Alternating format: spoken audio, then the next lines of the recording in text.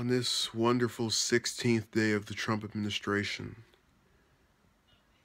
February 4th, 2017, the DOJ is fighting against the judge who yesterday temporarily ceased the um, policy Trump had enacted earlier, or the week beforehand, I believe. I don't remember the exact day that banned think seven to nine countries from being able to. It was a group of Middle Eastern countries that were not able to immigrate over here, citizens from there, denizens rather.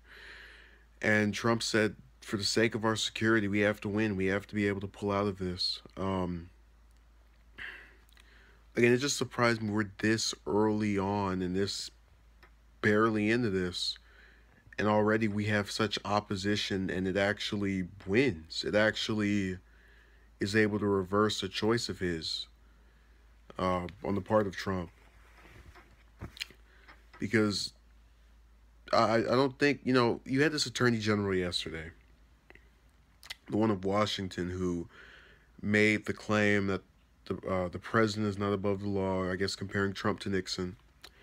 And I don't remember there being a law in the Constitution or it being stated in the Constitution that you ca- you cannot ban people from coming uh, coming to, the, to America from certain countries. I don't remember seeing that or reading that at any point.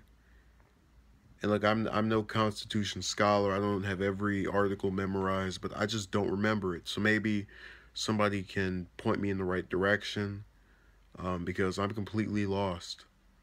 Not to be confused with the TV series of the same name that had the infuriating ending from all those years ago. Thank you for watching and have a good day.